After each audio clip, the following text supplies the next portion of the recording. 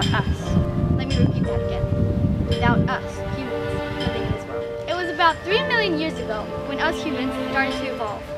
We were conquering nature, but now we're beating it to death. Like Mahatma Gandhi said, there's actually enough for everyone's need, but not for everyone's greed. Right now, our number one priority is money. I get that money is important in our lives, when the last tree has died, the last fish has been caught, the that's when we will realize that we cannot eat money.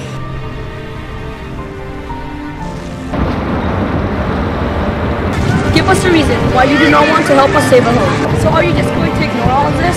Your future family will be forced to live in a world so polluted that they won't have a chance to see what Mother Nature has created. But if we do the right thing, have the power to help and save Earth, maybe a world can still survive from Homo sapiens. Oh, and by the way, did you know Homo sapiens defined wise men? Are we that wise?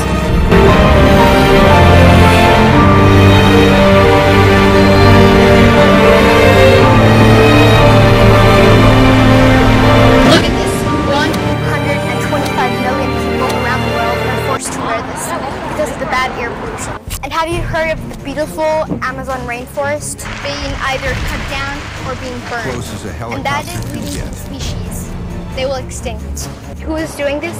It's us. All of these problems are caused by us. We are so greedy that by 2050, 2 billion innocent people cannot have water to drink, to shower, or do anything with it. In this second, millions of problems are happening. So don't waste each second.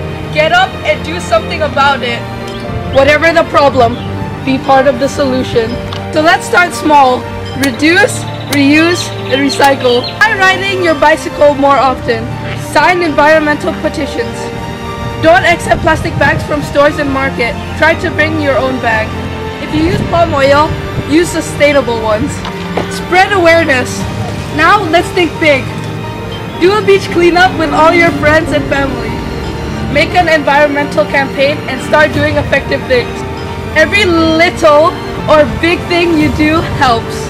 Sooner or later, we have to realize that our Earth has rights too. Rights to live without pollution. Rights to live without rubbish. Rights without the temperature rising. As we speak to you here on Earth Day, we want you to learn a lesson.